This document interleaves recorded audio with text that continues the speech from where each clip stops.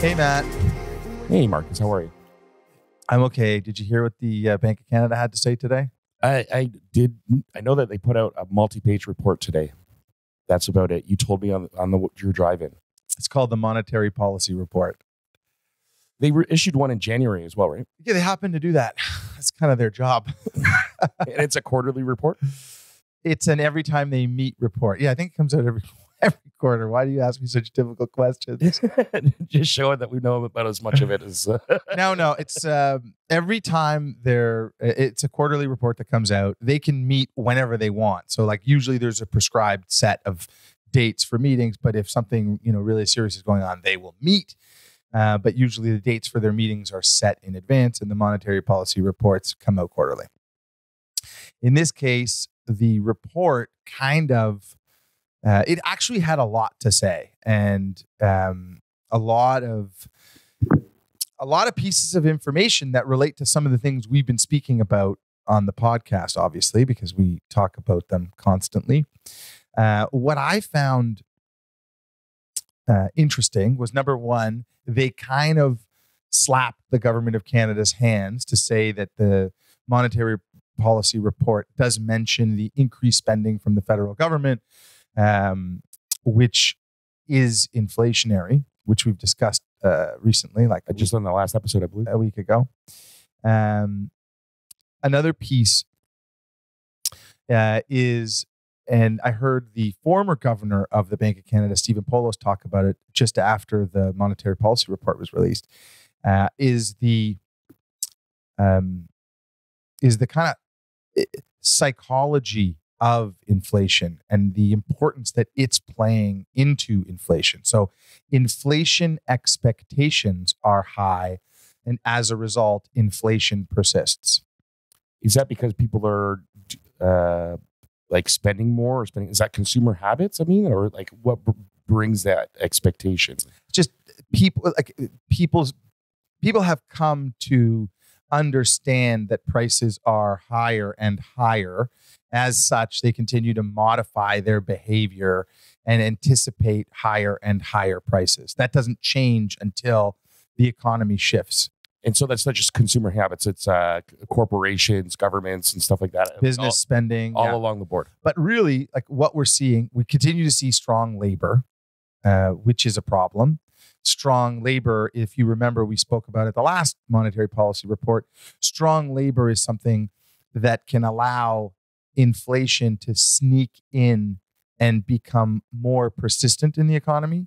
So if you have strong labor and strong labor utilization, well, then you have a bit of an issue because people need to be paid more. Labor becomes more expensive. Those costs now become more ingrained in products and services. And as a result, inflation is harder to kind of strip out of the economy. So the report does discuss uh, that. Listen, for sure, I think the takeaway from the report is the Bank of Canada is not going to change interest rates in 2023. There's no half a point cut coming. The market continues to anticipate it, right? We talk about the behavior of the market. The market comes in and says, okay, uh, no matter what they really said, you know, look at what's going on in the overall market, and yeah, they're going to have to cut before they say.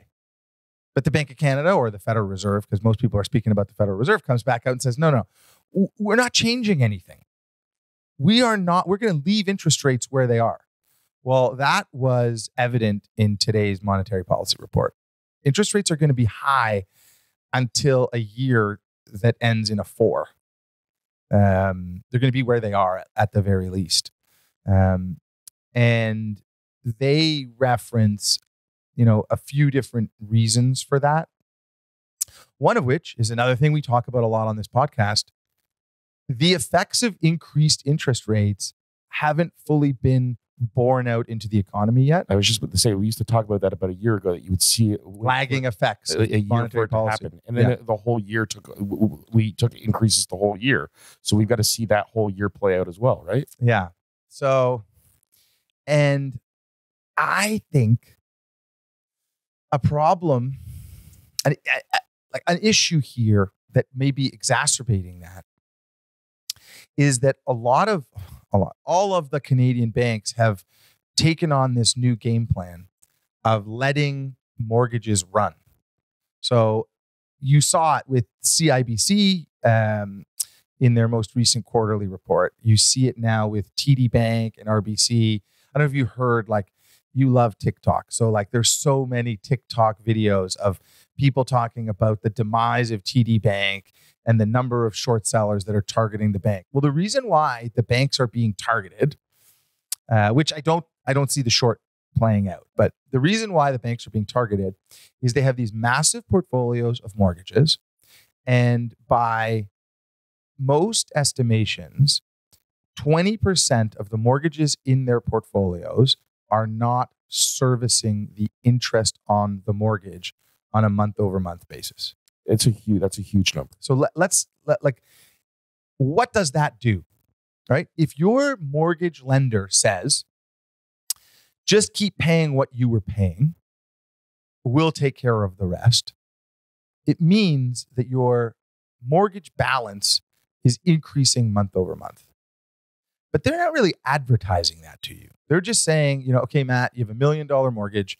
Your payment on your million dollar mortgage two years ago was, you know, uh, geez, it would have been $15,000 a year, right? 1.5% on Yeah. a variable rate. And your payment now is 6%, $60,000. Every year, the equity in your home is being eroded by the difference between those two numbers. So you are now adding $45,000 to your debt on a month over month basis. Significant amount. Oh, sorry, on an annual basis. Eventually, that has to stop. It has to stop for psychologically, the person that has the debt is going to say, geez, like I just can't afford to keep adding this much debt to my balance sheet. And for the lender, it's going to change because at a certain point, the lender is going to say, geez, the amount of debt we've got on this property is too high. But what it does in the interim is it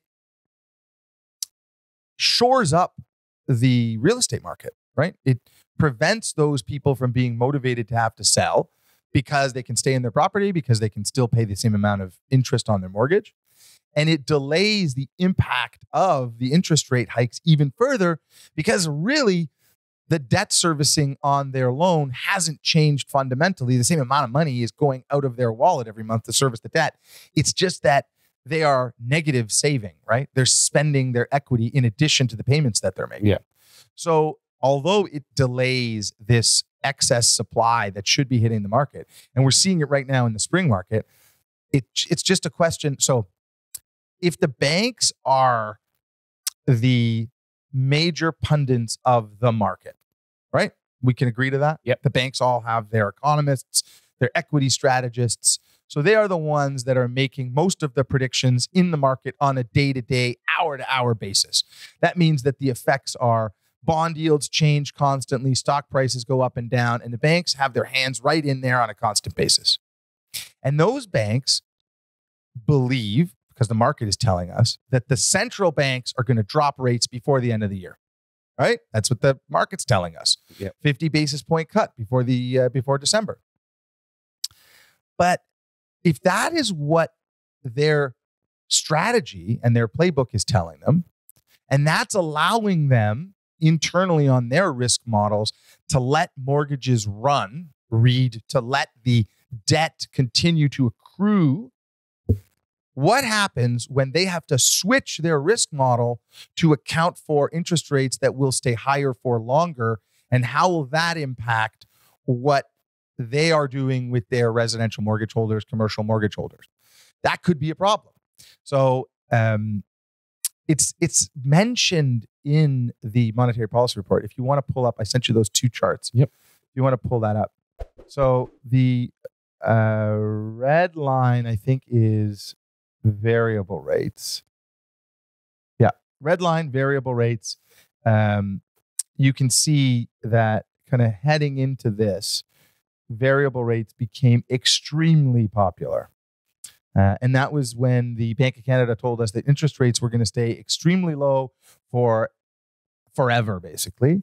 So everybody jumped into a variable rate.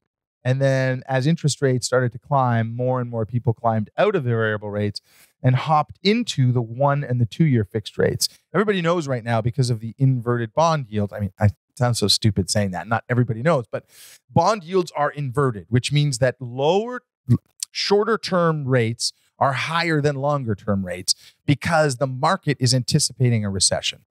As a result, shorter mortgage rates are cheaper than longer mortgage rates. So more and more people are taking the one and the two year fixed rate product. That's the baby blue line, probably my favorite color. So the baby blue line, Marcus's favorite color, shows more and more Canadians jumping into these shorter fixed rates because they're cheaper than variable rates. And also because they're expecting, as the banks are expecting, remember, risk strategy, all these very smart people that get paid lots of money. The Bank of Canada is going to drop rates before the end of the year. And then you can see three and four year rates have also increased, but five year fixed rates have dropped because we've been told kind of time and time again that the um, five year fixed is not the way to go because of uh, the inverted bond yield. So, what does this mean?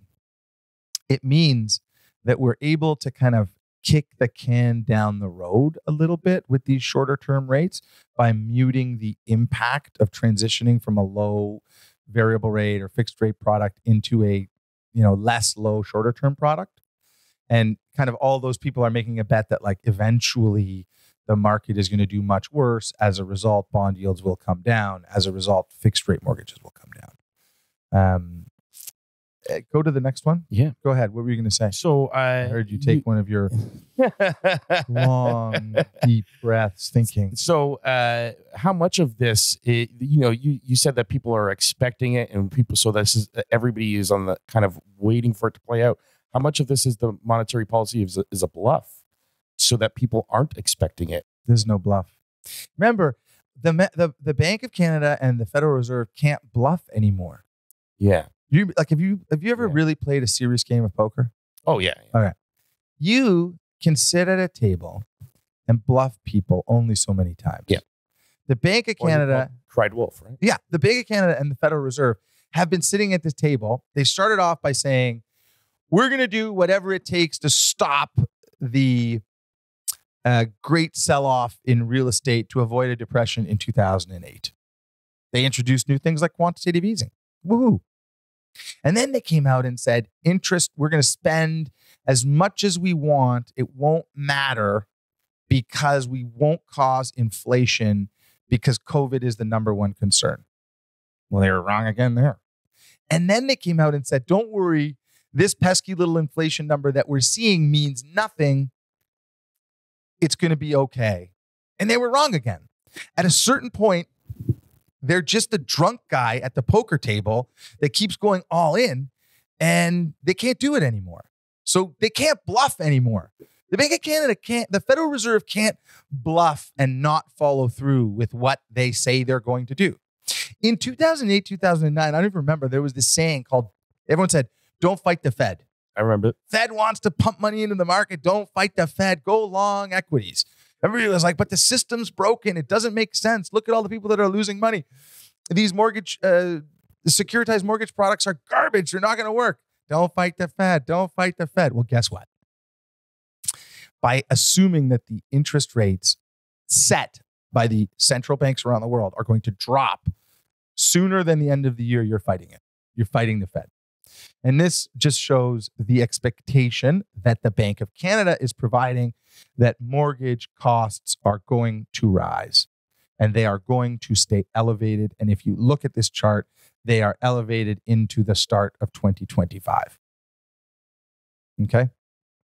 So I don't know about you, but from here to 2025 seems like two years. And we have to ask ourselves are the banks in Canada willing to continue to let 20% of their mortgage book accrue interest? Never mind, are they willing to? Are their shareholders willing to? And if they are not willing to, how will that impact real estate prices?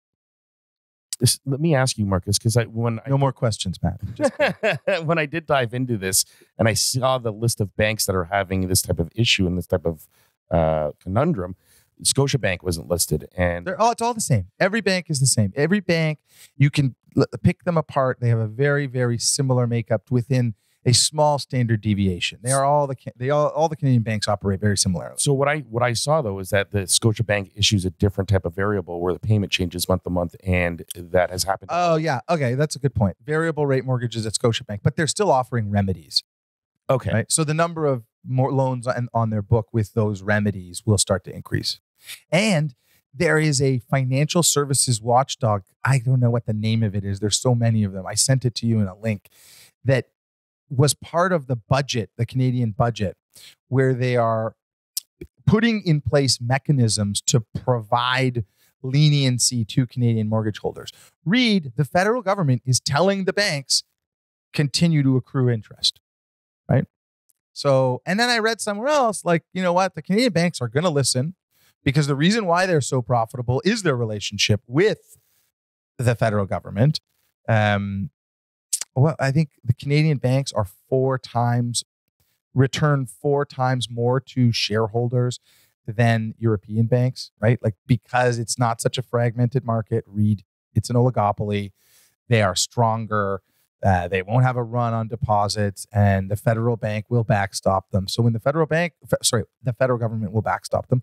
So when the federal government says to the Canadian banks, "You better be nice to your borrowers," they listen. The, the banks listen, which I don't think you get in something like a free market economy. it's a very good point, Marcus. It's a very good point. So I believe that we have a guest in today's show, right? yeah. So you don't want to talk about this report anymore. Okay, so let's roll in. We've got a great guest today. Uh, Peter Papousek is here from the Papousek team, uh, fabulous sellers of luxury real estate. And we're going to get his take on the market. Welcome. Thank you, Marcus. Great to have you on here. Yeah, it's great to be here. Thank you, everyone. I mean, Yeah. you don't need an introduction to the people that know you for sure. Yeah. You sell a ton of very high end real estate in Mississauga. Yep. Yeah. Uh, for people that usually listen to our podcast, my mom and my brother, uh, Mississauga is uh, where I grew up, like up Oh, until the age of four. Come Yeah. on. Yeah. Whereabouts? Where- Applewood. Applewood. Okay. You know where Dixie Value Mall Of is? Of course I know. Across from Dixie Value Mall, there's Yeah, like yeah. a little plaza. Yeah, yeah, yeah. There was a Baskin Robbins there I Yeah, used to yeah. go to, I remember. And that's about it. That's crazy because, um, yeah, I actually grew up uh, a little bit close, close, close to that. Close enough. To Oh, no way. Yeah, yeah. I've been in Mississauga for, I guess, most of my life. Yeah. We used to live on, when we first came to Canada, we used to live on the West Mall. Well, actually, we went, we moved first. My, my parents moved to Brantford. That's where like the government wanted everyone to settle, right? The home of Wayne Gretzky. yeah, exactly. Yeah. Right. Well, okay. You could Uh, do worse. No, no, it was Brad, Bradford. Oh, Bradford. There's two different places. Okay. right? But anyways, yeah. That's so Toronto now. so yeah, and then my parents were like, "This, we're not going to stay here." No. So then they like went to Etobicoke West Mall, and we stayed there for a couple of years, and then naturally gravitated to Mississauga. No way. And that's where I am now. Still, still there. And now I'm in Etobicoke. yeah, and Etobicoke's great. I love Yeah. Etobicoke. Oh, that's cool. Yeah, Uh, Bradford uh, would have been good to buy a farm up there yeah, when your Yeah. parents were there that. yeah. Well, you if you buy anything uh, thirty plus years ago, you're doing really well. Yeah. right? And that's actually the beautiful part about real estate. Like, um, so I went to university and I studied finance and, um, you know, specialized in or focused on uh, securities and futures and options and all that good Mhm. stuff. And I always I thought to myself, like the stock market, investing in the stock market, it was like, it's, it's obviously if you, the more information you have, the better you do. But, you know, the information, the good information, it's hard to find, Mhm. right? So you're kind of, you know, um, there's a lot of ups and downs in the stock market. Real estate always does well over the long run, Mhm. and um, you know um, that's something you know we saw the last you know say few years were pretty volatile. But if we look at the run rate for the last ten years, property values have doubled to tripled. That's not bad, especially if you take into consideration um, cash on cash returns and leveraging mortgage rates, and they were pretty low for many years up until now, right? So, yeah. So from that perspective, How I have you seen? How, yeah, I, I, of course. How have you seen that? You just brought up mortgage rates. yeah, I know. It's like like this is. as soon as I I, was- I it, looked like, over- "Eh." I looked over at you to see how your I see your eyes like light Yeah. up, and like, you know, 45 watt. I, I, I, you know, I saw your eyes light up like. They're very important to me. They're very important to me. I hold them near and dear to my heart. Yeah. I always want to know how people see their markets being affected by them. Yeah. Like, Yeah. have, what have you noticed? Well, um, okay. So um, we had l- really low mortgage rates um, through COVID times, um, and that you know made money really cheap for people to borrow, and they spent it. They bought, uh, and that really fueled housing prices. I remember when we first met, you were already doing mortgages. Yeah, yeah, Like you were like, oh yeah, like I, yeah, I do private mortgages. I have some clients that have money. I have other clients that need money, and I put them yeah, together. yeah. That's what I do. I like I matchmake, right? Like I matchmake in real estate, I matchmake. I matchmake in all senses, I guess. Um, I'm kind of a solutions provider, and based on what I know well, right? And that's that's like numbers and real estate, finance, like finances. Um, and then I take it the next step further. Like if someone needs a renovation, like I'll, I'll you know provide solutions. Like you know they got questions about permits or you know planning processes like I, I like to help people kind of through the path or on the journey their journey make it happen for them It's always hard referring people, though. No, like you know, like you refer somebody. Like if it works out, it's great.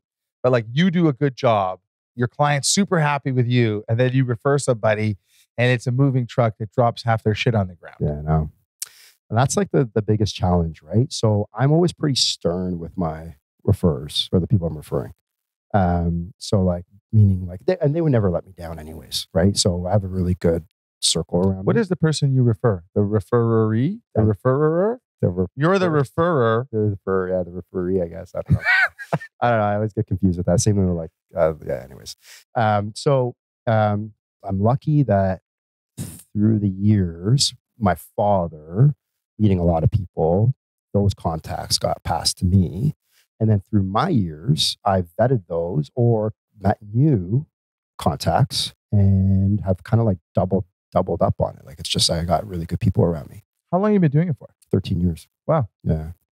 13 years. And um, so I did, uh, I was at Rogers for a bit after university doing project management, um, actually financial, financial analysis and then project management for the IT department.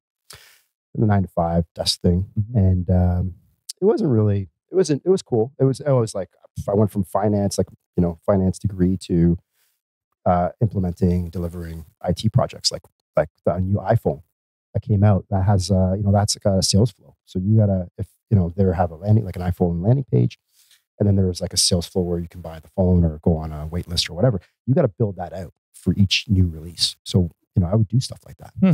and like I I had no idea. Like I, I never programmed in my life. I didn't know development. I had no idea, but I knew how to like kind of motivate and move teams or people. That I'm really good at. Like that's I I know how to get people together and create synergies, motivate, get them to their goals and and and alleviate obstacles. I love like that's a big thing I, I love doing. That's a pretty critical uh, It's huge, piece right? of the puzzle. People get stuck on things, right? And like I just like to kind of plow through those things Mhm. and help people plow. And um, that's I guess that match me. So you're like a farmer, kind of. I'm a solutions provider. That's what I really am. Yeah, yeah, a farmer. Yeah, I am a farmer. I like that. Um, but yeah, so yeah, I did that, and then I, I uh, jumped into real estate because I. Uh, it's funny. I was, you know, I was looking at, um, you know, I was, I was 23 years old, so I was kind of like career driven, dollar driven, um, and I was kind of looking at my growth at the corporate side of things, and I was like, you know, I'm gonna, I, I'm a really hard worker, and I'm like thinking to myself, is 100% of my hard work going to be recognized and rewarded? And uh, I'm a rewards driven person, right? So I like to see, you know, whatever hard work I put in, I kind of see the rewards. I, I'm, I'm okay to wait for those rewards. I don't need to see them instantaneously. I'm patient. But I looked around and I thought to myself, well, you know, what's the youngest VP at Rogers? And they were like 32 years old. I was like 10 years from my age, right? What are they making? And I was like, you know what? I don't know if I can wait that long. so then I looked at, I looked around and my father was doing really well in real estate. Picked it up part time and uh, did it for six months part time after work and you know um, on the weekends, and I made double my salary in the first six months Wow. part time in real estate, and it's just been up from there.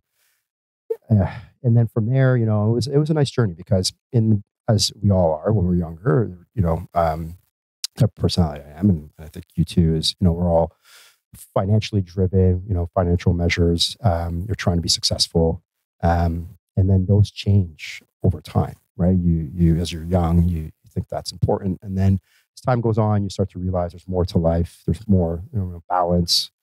There's uh, friends, family. More more right? money? No, in terms of Just kidding. yeah, right. measures change, right? Financial turns financial measures turn to other types of measures, and there's other values and, and things to chase in life, right? So that happened over the years, and I really start to I really started to see the um, the fulfillment from from, and this is going to sound kind of corny, but uh, from just my client satisfaction. Right. That does sound corny. It does, right? Uh, but it, I truly like it's. I think actually that's what started because I, I made good money in real estate when I was younger, right? I And then I and I was I was buying all the stuff and all the materialistic stuff, but it wasn't it wasn't fulfilling me anymore. It got to a point where I was just like, does that suit Tom Ford? mm, no, you know what? This is Looks uh, great. Thank you. This is a you know what? This is a great. You know, I got to go back to this guy. Um, uh, so this is a dollar dollar suit. I got to get more suits. Um, This guy makes a good suit. dollar, yes. Looks great on you. Thank you so much. I appreciate it. And I like your colors, by the way, Marcus. Thank Like, you. I walked in here and you know you light up the room. You Yeah. really do. Like I like that. I like I like the color combination. All right. So um, yeah, the fulfillment and that changed, and uh, that's really the most. That's the infinitive. Uh, infin- Definitive? no, in, sorry, in, infinite amount of fulfillment comes from, um, you know, uh, client satisfaction. It really does because that that uh, you can't get enough of that. Can you imagine, like, you know, the the just people looking at you and saying, like, you know, good job, right? Like, we're really happy with what you've done for us, and like that really that goes a long way Mhm. for me at least, a lot longer than you know just when I was in my early twenties selling real estate and making a commission check, right? That that only went so far, Yeah. right? So.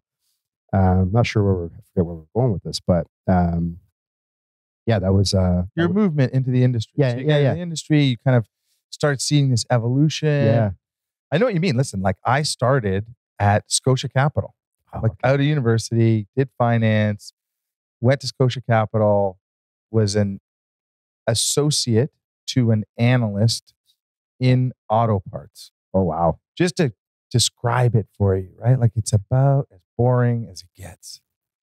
so and you're working on an Excel spreadsheet. You're looking at 10Q, uh, like the quarterly reports from different companies like Right. Magna and Premdor and Linamar and like all of, yeah.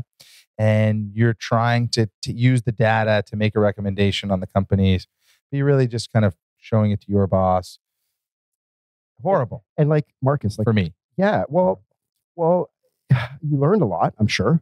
Did I? I think so because like, sure? well, I think you you were looking for the arbitrage, I guess, in those scenarios, right? Like you're looking for the for the. I didn't have any money to take advantage. I know. Well, that's that's the other thing too, right? You start working for yourself, and you start uh start making some more money. But um, yeah, but I think do it. but I you couldn't do it. Much much similar to you. I just reached this point where I was th- thinking to myself, like, I was working. You know, like I was going downtown. I remember driving downtown.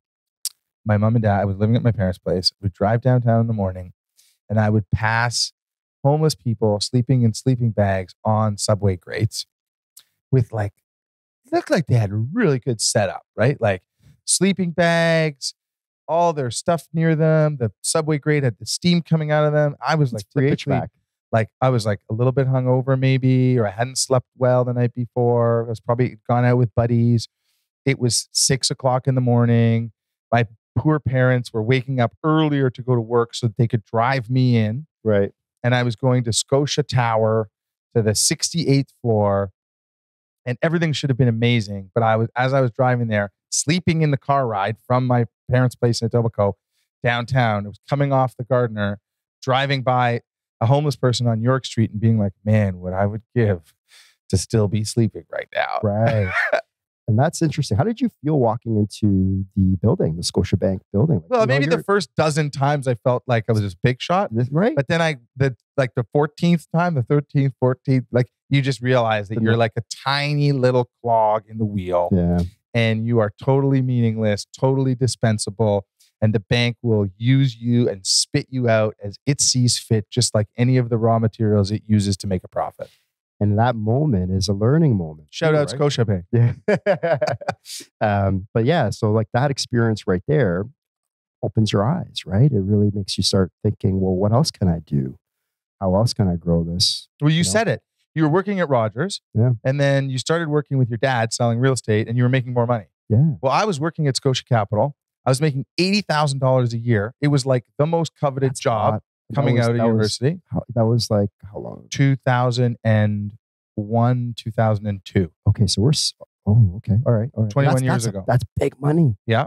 that is big money. Yeah. And then I decided in my infinite wisdom, Yeah. which did not seem very wise at the time, just as you say, I was putting all this effort in. What was my risk return? What was how much of my life did I have to give in order to get to the point where I saw uh, success? Right. I looked at the people around me. I was like, listen, there's a lot of people that make a lot of money in the banks, especially on the 68th floor of Scotia Tower. I just didn't think I was going to be capable of sitting sitting there for 10 years to get to that level. And uh, I went and started doing mortgages. And it for the first couple months, it was horrible.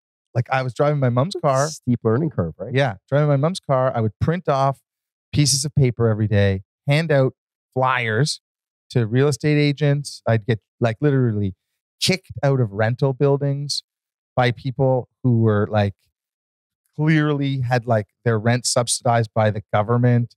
And I was just So- doing my best to like, So you were you were prospecting rentals yeah, man. to get them on mortgages. I That's wa- brilliant. we had at the time, you got to remember, this is the year 2002.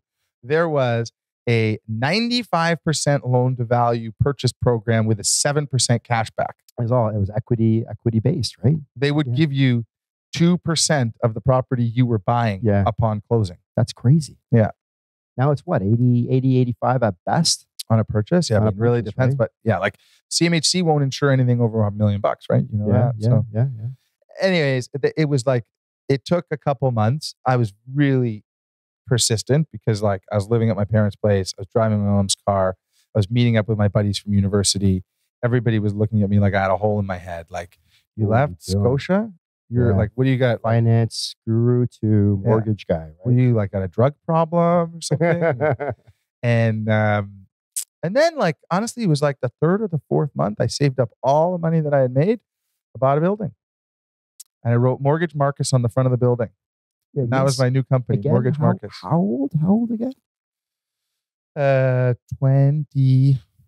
22 years old. 22. 22 years old. You you leave this cushy financial. You know, you got all the.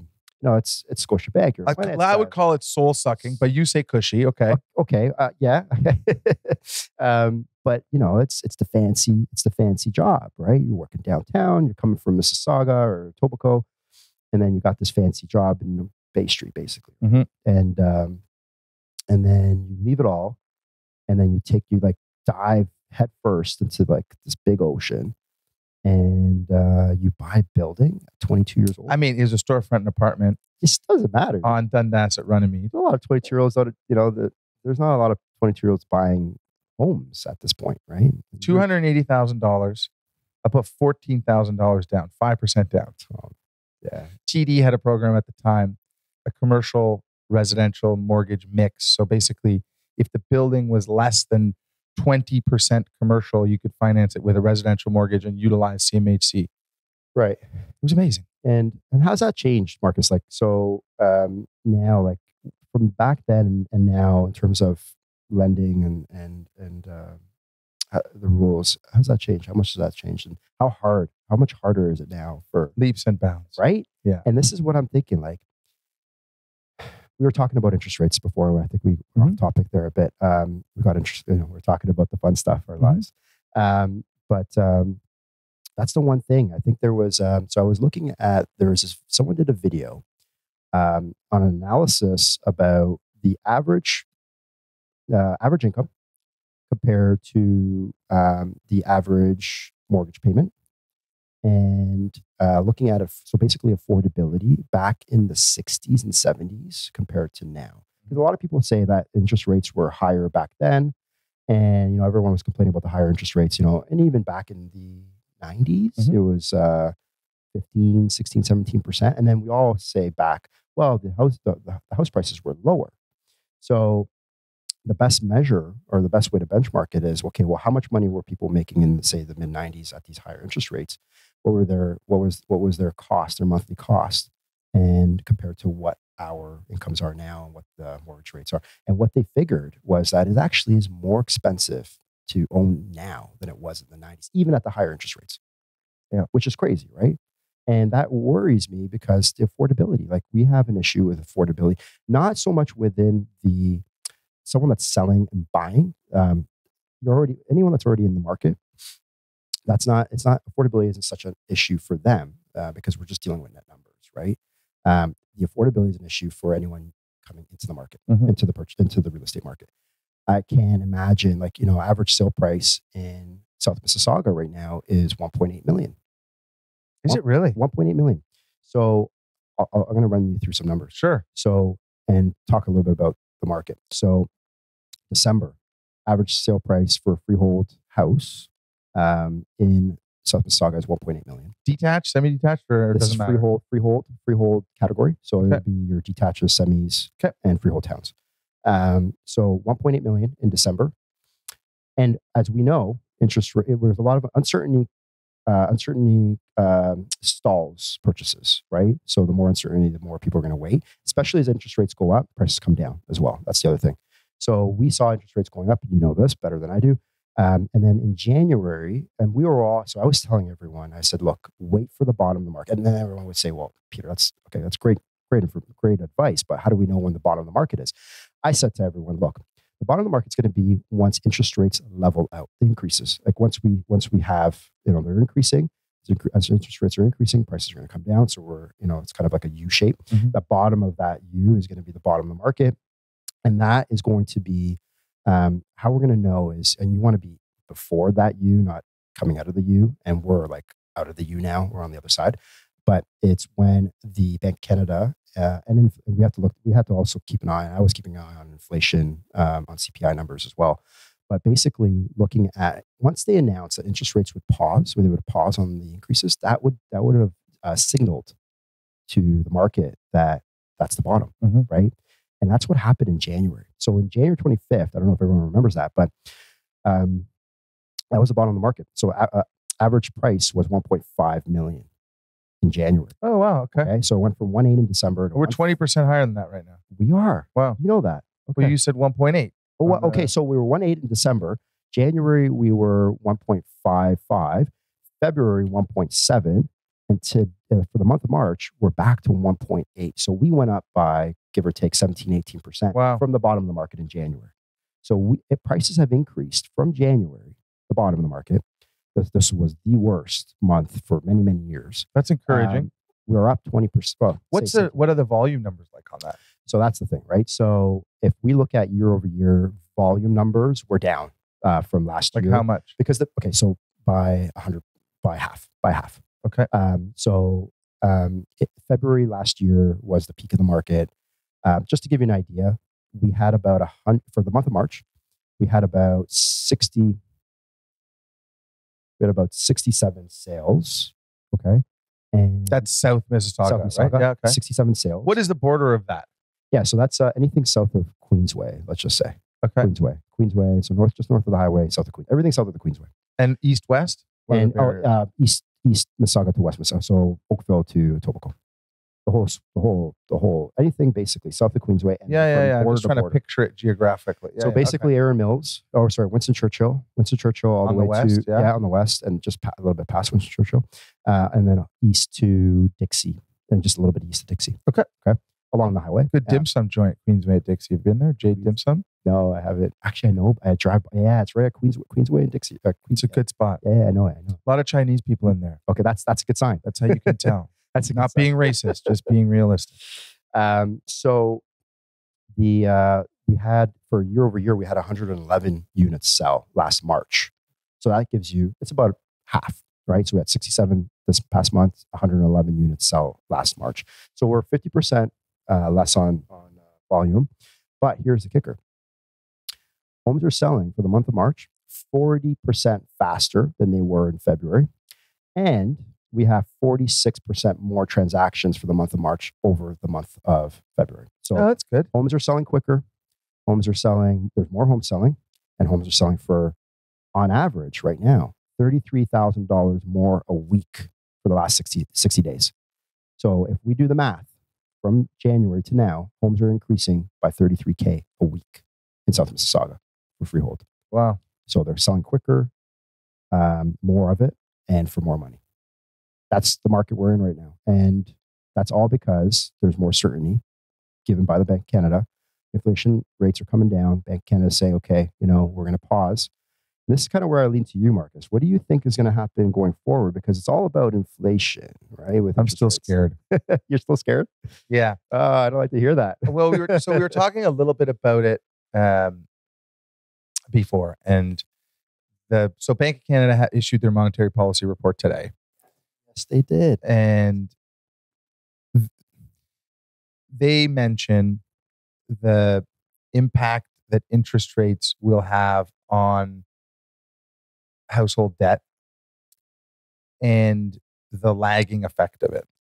So my my only concern is like listen, I said going into this spring market, if we had a four handle on the five year fixed rate, we were going to see a resilient spring market. Mm-hmm. Um, I, I think that like the, the the the sooner we can get to normalized fixed rates, it's almost like a psychological barometer for the market, right? Exactly. Like 4.49 five year fixed rate, the market will look at that and be like, okay, That's okay. Prime rate's that. crazy. Yeah. I don't want a variable rate. We want. I, I think you want to see more people look at that five year fixed rate and jump into it instead of what we're seeing right now, where there's more people just taking one and two year fixed rates, like hoping to kind of wait out this period of time where short term rates are. And you're seeing a lot of that, right? Because I'm hearing a lot about that. That The Bank of Canada issued it in their report. Never mind. Okay. It's something that people are kind of very keenly looking at as a leading indicator for how we climb back out of this. because we're so used to like we all over the last say 20 years we've seen variable be the right choice right and i remember 20 years ago when i bought my first place um, i bought fixed I, I, bought with fixed mortgage and i and because i needed that certainty that, that consistency that consistency and i you know that was the first and last time i bought fixed Mhm. right so uh, from then on it was variable all the way and we always made money better than the fixed right it was always net positive now we're starting to see kind of that full circle people coming back to fix and i'm seeing a lot of that one two year and you're saying that you know people are talking about that Well, just it's cheaper than a variable. and what Right. do you think is the what would you recommend at this at, in this like based on what you know and where we're at and you have the bigger picture what would you recommend I think interest rates are going to be higher for longer than the bond market is anticipating right now. So I think like the Bank of Canada all but said today that rates will stay where they are until the end of the year. So so rates will change in 2024, not in 2023. down Down, yeah, yes for sure, down. yes, yes. Um, but I think that the banks are risk modeling for rates to come down prior to that. Right. Right. I think the market is telling us rates are going to come down sooner than what the central banks are telling why do us. you think that is marcus I think that okay, on a fundamental level, I think that um, the markets are always overly optimistic. Um, I think that they believe that the central banks will pivot sooner in the face of a recession. So they'll see some some something fundamental change in the market that gives them pause and says, geez, this is a problem. Like, for example, when Silicon Valley Bank, when when the run happened on Silicon Valley Bank, and we spoke about it on the show, but basically they had invested a lot of their capital into long-term notes with low interest rates right and they had a not a run well essentially they ended up having a run on the bank but the depositors needed their capital back as a result silicon valley bank needed to sell these longer term instruments and take a loss on them in order Discount, to repay Yeah. and the difference between what they sold them for and what they had deposits for was greater than the market capitalization of the bank of yeah the value Right. yeah so that brought up a fundamental problem with how the banks were operating in the United States. As a result, the Treasury had to step in and create a solution. and look to other banks that were in similar situations and behind the scenes create more solutions. So I don't think that's fully done yet. But as a result, we saw bond yields drop almost one percentage point. I, heard. Yes, I saw that. Yeah. At that moment, the central bankers didn't say anything, right? Jerome Powell didn't come out and say anything. Tiff Macklem didn't say anything. They mention it in this monetary policy report. They allude to more serious fundamental problems that could be underlying in the economy. The IMF came out and said something about it in there. They're doing like a conference in Washington where I'm sure everybody's fully utilizing their IMF expense accounts. But what it shows you is that the market anticipates these events having an impact on the Federal Reserve or read the central banks of the G7 nations. Mhm. But the central banks didn't pivot. The central banks, the Bank of Canada came out today and said, we're not moving rates. Yeah. So for rates to move faster, l- lower faster, something's going to have to break. And the, the problem is right now, employment is so utilized Yes, it is. right? Like our level of employment labor utilization is so high that the cost of labor will continue to creep in to the things we buy, Mhm. the services we utilize, and that makes inflation, Inflation, stickier. yeah. And that's what's scary for a central bank. Yeah. Like, how do you, you know, infl- a lot of inflation was um, was uh, energy, gas, right? Um, now mortgages, mortgage, a lot of mortgages are, are factors. Energy is a good one because the Saudis don't care anymore. I know. What did they just do recently? Like they they are now Five percent output cut. right? And initiated by Saudi Arabia on a non-meeting of OPEC. So basically, that's like the Bank of Canada coming out when a, on a not scheduled for a meeting and saying we're making a change. right. We're ratcheting up interest rates. In fact, it has the the opposite effect, right? Because increasing the price of oil essentially affects inflation, right? Uh, it will it increase. Yeah, it's Hundred percent.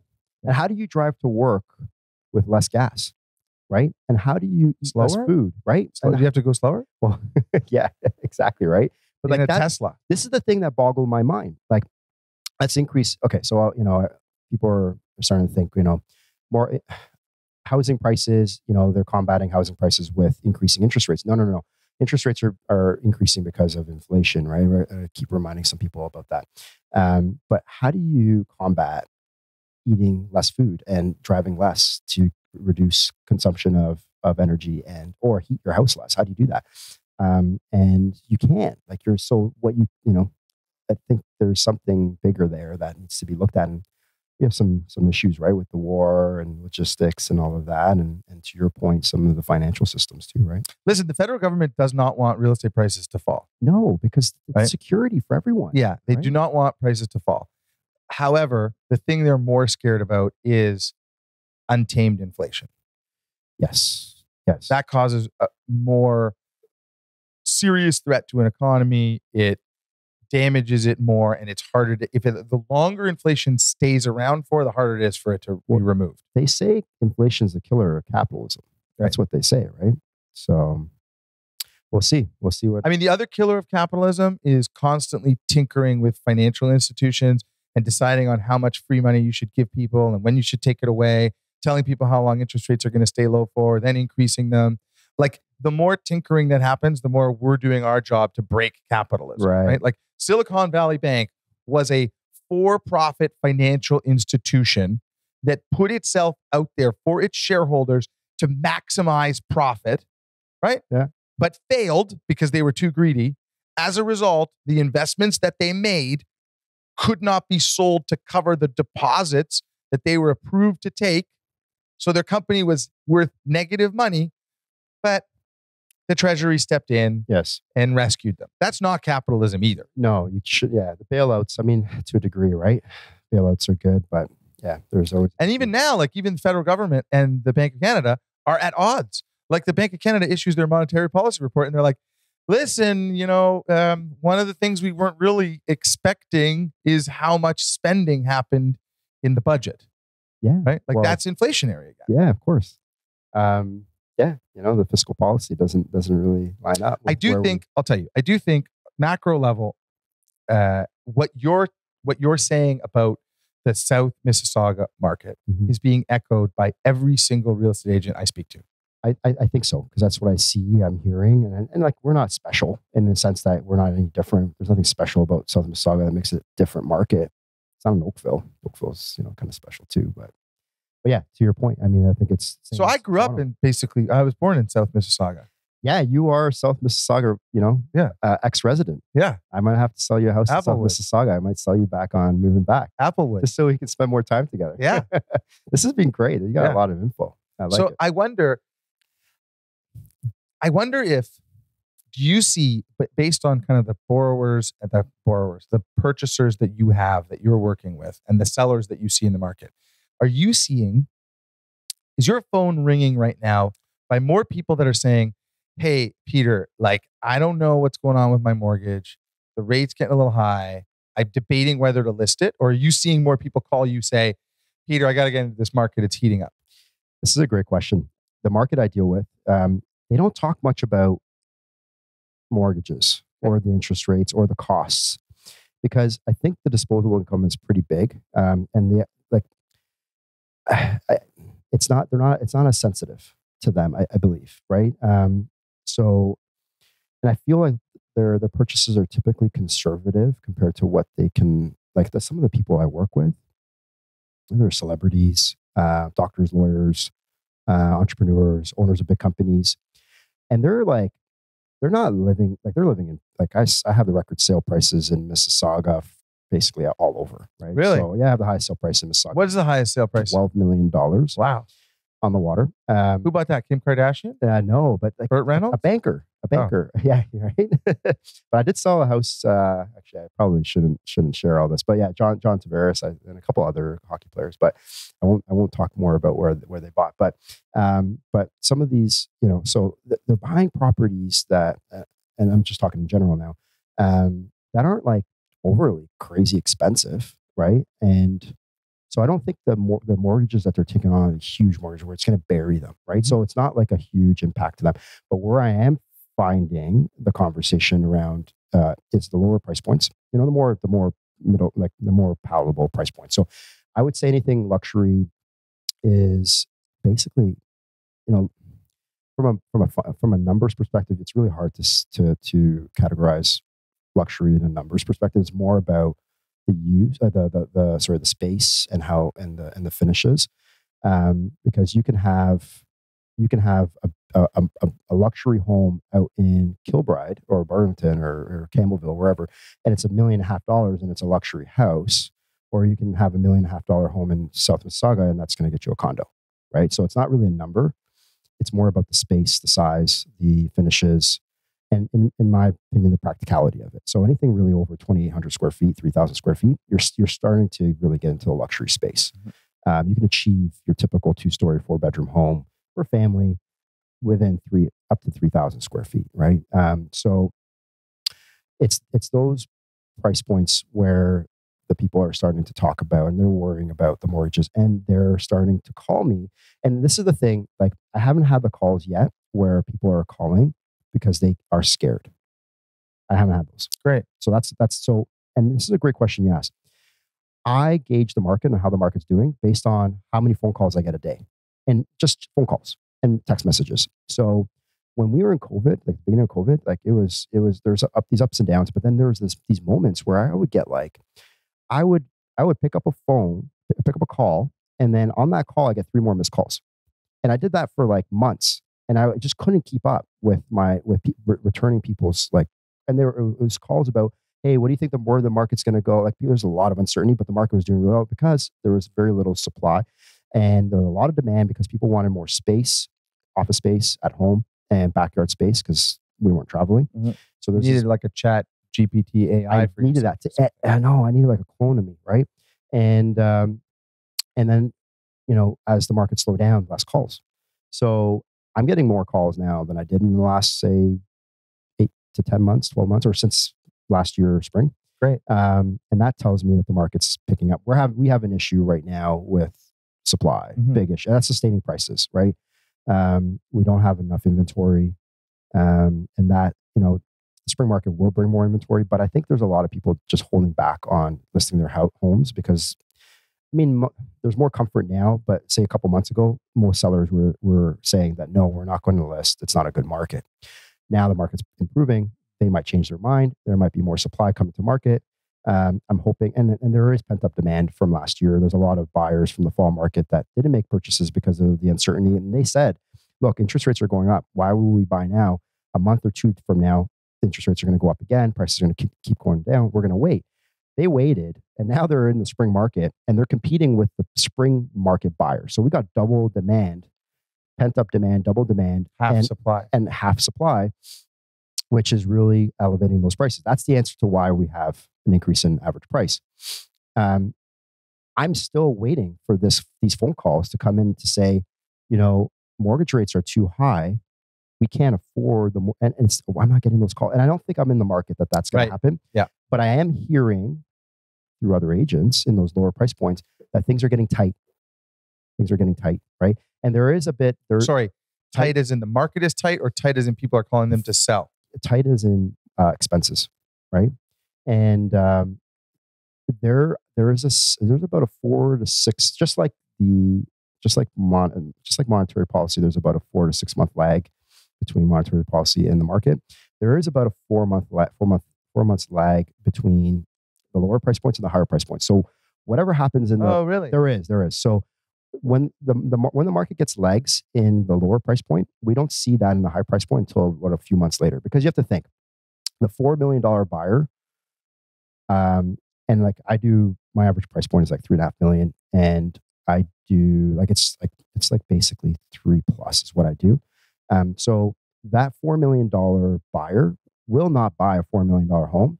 If okay, so if they have, let's just say they're they're they're moving from North, North Mississauga, and they're getting, you know, they're expecting to get two million on the sale of their house, but they only get one five. Well, they're not buying the, the four million dollar home anymore. They're buying the three and a half, right? So, and the uncertainty of that of what they're going to get for their home, they're just going to pause their their purchase altogether, or negotiate a really try to negotiate a really low price on that four million dollar home. And if the deal is not going to go together because the sellers, they don't mostly They're the not sellers feeling the same pressure. Yeah. well, they don't that because they don't need to really sell because they're not as mortgage sensitive, uh, mortgage rate sensitive.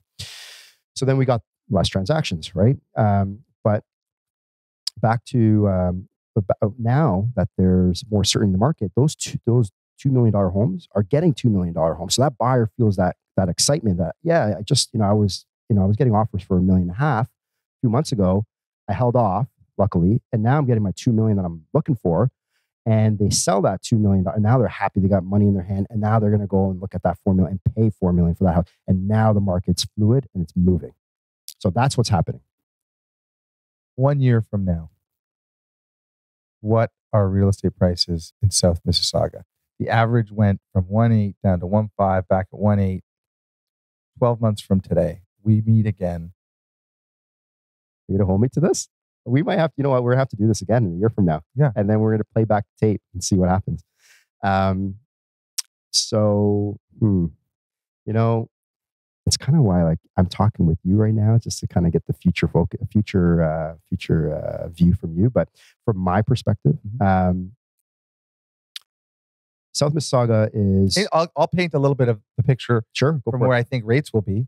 I think yeah, rates will that be. because that's that's that's that's key. I think you will probably have a five year fixed rate with a three handle. So five year fixed rates will be three point a bit like not less than three and a half, maybe 3.8, 3.9% on a five year fixed rate. Okay, so that that paints a really good picture for me. Okay, so I'll tell you this. The best five year fixed rate. Okay, though, so Like, I'll tell you. banks will be like quoting six and a half still. I'll tell you this. South Mississauga is a unique market where everyone wants to get in, regardless of what market we're in. There's always people wanting better schools, better better neighborhoods, better location, better homes, um, just you know more more prestigious. Everyone wants that, and we have a very educated class. We have people making money, entrepreneurs, doctors, lawyers. They're making the same amount, if not more. So there's always demand. There's not a lot of supply. And as we know, homes sell based on law of supply and demand. So from that perspective, South Mississauga always does pretty well. They don't even have big um, pick, um, deep.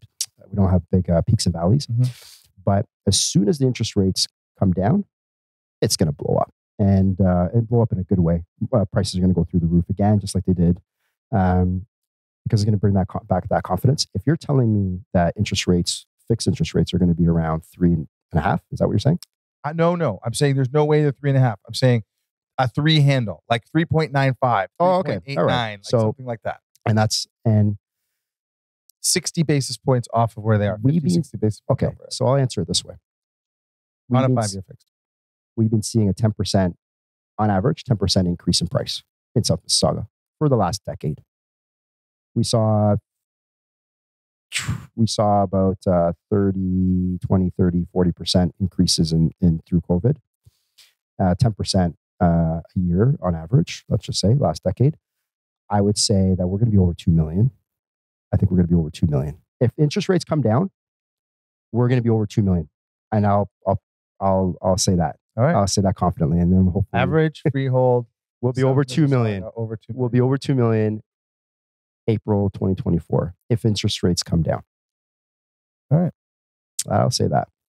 I don't. I can't foresee the only way the average price is going to come down in South Mississauga is if supply kicks up. Right. That's the only way, um, because demand's constant and it always outstrips supply. So if that's the case, then prices will never come down. it's funny, right? Like that's the story of the entire real estate market, right? We can't keep up with demand, right? We we just allowed a million new immigrants to come into the country. We're not doing anything about supply. It's a constant, constant. How do you how do you fix supply? Or okay, so you know what? Like here's a it's kind of a could be almost a bit of a political um, question or approach, but um, what's the right way of fixing this issue? Uh, is it demand, or is it curbing demand, or is it increasing supply? What do you think, and how do we do it? I have some thoughts on that. What do you think? Uh, okay, so right away, I would tell you that there are constraints on the development market that are not only artificial, but frankly, not even wanted by the municipalities or the provinces. Like there are inefficiencies at almost every level level of government that put time and cost restrictions on developers to bringing units to market. Like you're sitting in a building right now that everybody agrees should be a six-story condominium building, Or more? right? That's or I, I, I'd or say more. more. should be should more. right. It should be a. thank you very much. Right. It should be at least a 15-story building Uh, There we go, and that's the solution. based on its location. yes, Right. So the problem is, is that the way that developers have to get projects approved is so antiquated. It involves so much red tape. The time that it takes is the most expensive piece of this, Mhm. right? Developers buy a piece of property in the hopes of rezoning it, increasing density, because they they see the natural supply demand dynamics at play in the economy yes. but they have these governors placed upon them. It's like you ever go go karting when you were a kid, and you know that the go kart is supposed to go like 100 kilometers an hour, but they have those stupid governors on it that only lets it go 40 kilometers an hour. Yeah. The governor is actually people that aren't good at their jobs. They work in rezoning, they work in different different roles, and they stymie development and growth. And it's natural. And it's like there's a bit of not in my backyard from people that live in the area where development's happening. There's councillors that, you know, oppose things just for the sake of opposing things. All of this stymies growth. And if you keep stymieing growth, you add on costs that are borne by developers and you reduce development. Hundred percent, and maybe we need to get more private sector into the public sector. Uh, public sector. Um, you know, you hit a you hit a really Liberal government, by the way, Oh, increased government. federal government employees by 30%, just to let you know. All right. So we actually, you think we needed, like, uh, you're obviously wrong because the liberal government must be right. They're the people Oh yeah, in yeah, charge. yeah, yeah. So just so that you know, the federal government decided they needed 30% more employees to accomplish these things. So maybe that'll speed things up. Yeah. Well, Um, I would say that the um, you you actually said something really important. Um, we don't have we, we have we have we have demand is there's nothing wrong with demand. It's the supply that's the issue, like we said earlier. Transit, improve transit to the outside of the GTA, right? Let's get some let's get some movement, right? Let's let's make it easier to get out of the city, develop, and open up some of the space, right? And develop the space outside of the city.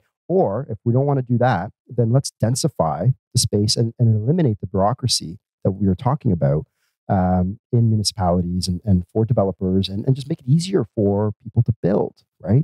And create more space. And this whole Bill 23 is exactly that. And I'm seeing a lot of the developers and builders in my area take advantage of that. We used to have site plan and you'd have to wait 12 months to get an approval to build. And now it's six months. So it's, uh, it's just a building. Listen, I think the provincial government is doing more than any provincial, municipal, or federal government has so far to increase density here. Yes. And this is going to combat affordability. And we talked about affordability earlier. It's not, it's, you know, reducing the house, the reducing real estate prices is not the, like you can't do that. That's, that's again, um, meddling with free, uh, free market economics. But, which is to your point, the, the, the, the governor on the go kart, right? Mhm. Um, but what we need to do is we need to increase density, and what's what this is what this bill is all about. Imagine that now you have two income uh, streams from your current residential. Pro- so the person that was hoping to live by the lake, this is what I'm seeing.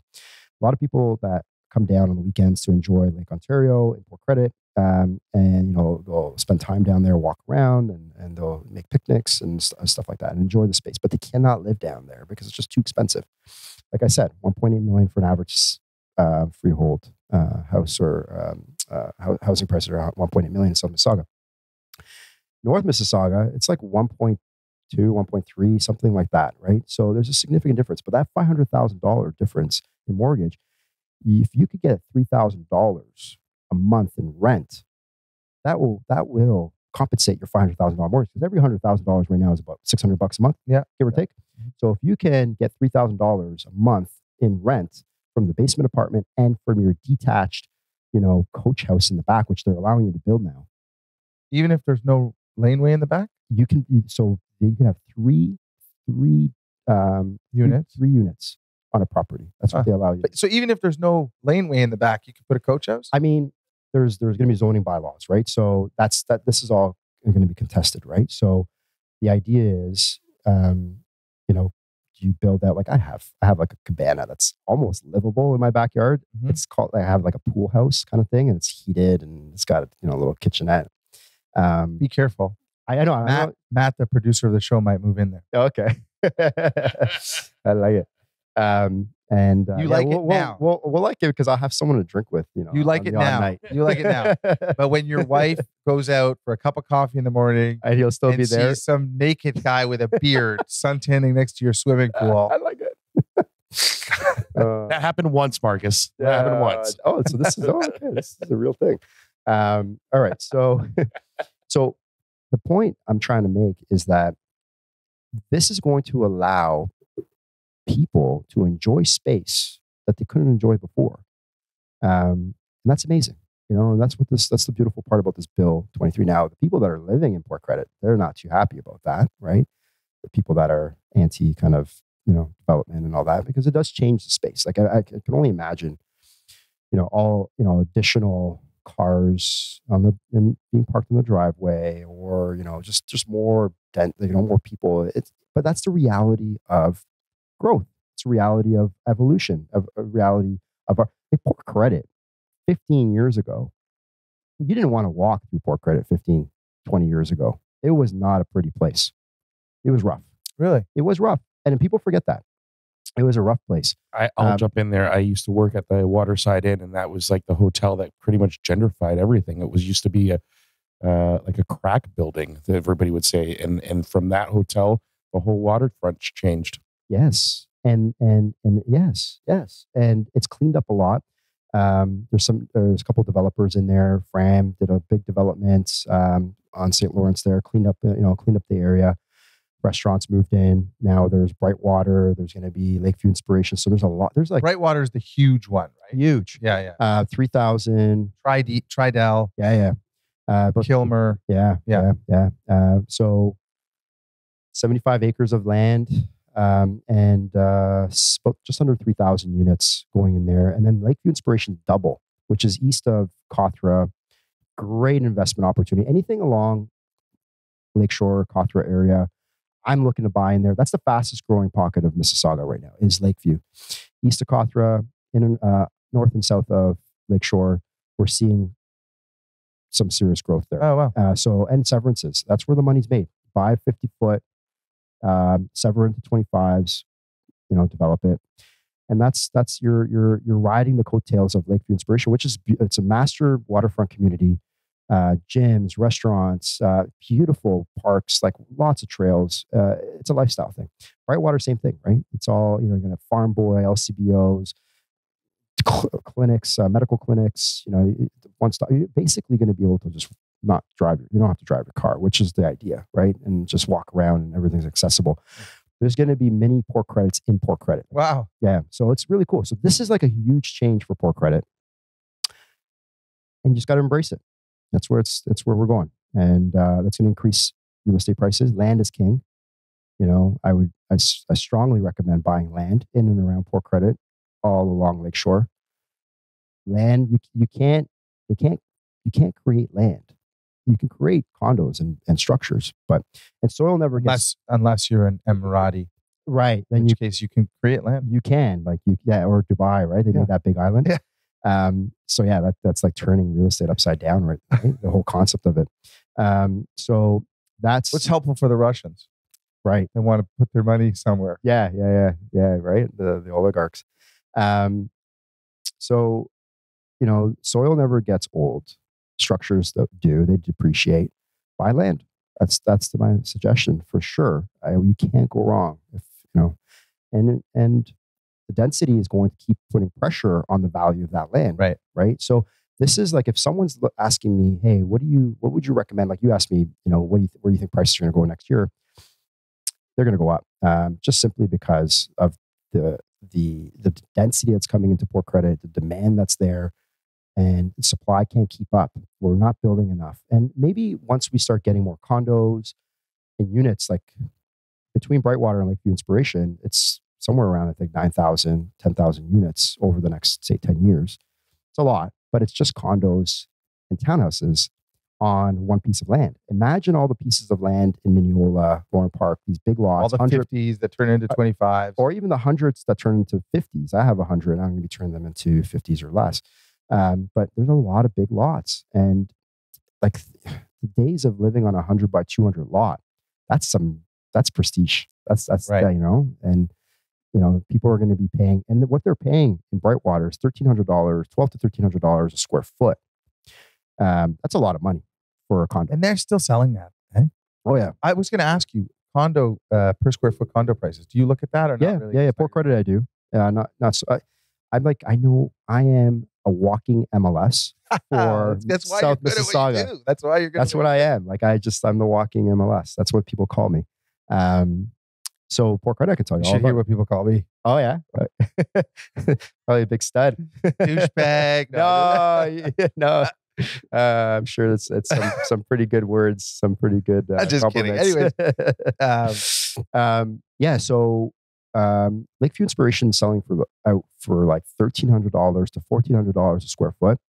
That's the Tridel uh, Yeah. building just sold out, and Brightwater that's sold out. hmm Oh, oh, okay. So there's phases, right? Right, So the okay. first phase, um, and the Brightwater Inspiration, or Brightwater Inspiration, Brightwater uh, development is about twelve hundred dollars square foot, square foot, and that's at the north end of things. So you're not really getting, you're not down by the waterfront, right? So those those will still come, and those are going to sell for a lot more. We had some big sales. There's a building that in Port Credit that was selling for fourteen to fifteen hundred dollars a square foot, and people bought that building and it sold out. Hmm. So there is demand because the demographics are changing in Port Credit. People want to maintain the lifestyle, the location, the home base, because their family or, or, or their kids are living in the area and they want to stay, but they're traveling and they don't want the big backyard anymore. They don't want the 100 by 200 foot lot. So they're buying these prestigious these condos that I just said for 14, 1500 dollars a square foot that are selling, they're they're selling for three and a half million, four million. They're big condos, right? End So- users. and they're end users. So Buddy, that's luxury. That's your market. Mhm, Yeah. mhm. Your market's getting bigger. Yeah. So, the, so this is the thing that I'm starting to, you know, keep my eyes on is the is the condo market, pre-construction in Port Credit. Let's build a condo. I'm down. Let's do it. I'm I'm looking for land. I'm actually assembling land right now for that for for for development. So we we will actually do business together. All right. I Let's like talk this. after this. We will talk more about. This is why I was so interested. And I walked in here. I saw the sign outside for the redevelopment. I said, okay, we're gonna have some good conversations. Yeah. we have the same same mindset. I like it. Okay, Peter, tell our viewer and listener. Is this your mom? or Yeah, my mom, my mom, my brother. Let them know how they can find you. So um, I'm a real estate agent, so it's pretty easy to find me. But you know, go on Google and just type in my name, and you'll. There's not too many Peter Philips out there, Right. right? So my father's name is Peter. I'm Peter. Last name's Papousek. Um, so we both have the first and same last name. I had uh the only way to differentiate because people would call in and they would ask for Peter Papousek, and my father would pick up the phone. And he's got this like crazy, like Arnold Schwarzenegger accent, and he'd be like, you know, this is Peter Papousek, right? And, and everyone would be so confused. They'd be like, this is not the Peter I met at the open house last weekend, right? so, um, and uh, so yeah, so now I use my middle name uh, to differentiate. So it's Peter Philip Papousek. And you can Google that, and I will come up. There will be uh, ppreteam.com Amazing. website. Yeah, and we got I got this I got this I got this really great team that's running. Um, they're helping me with my Instagram, my social media, Instagram, um, and um, they're actually here. And big shout out to them. M Industries, Well, thanks for coming, man. This was great. Marcus. Thank you so much. It's Great having you. We're gonna do this again. Yeah, we will, hundred percent. All right.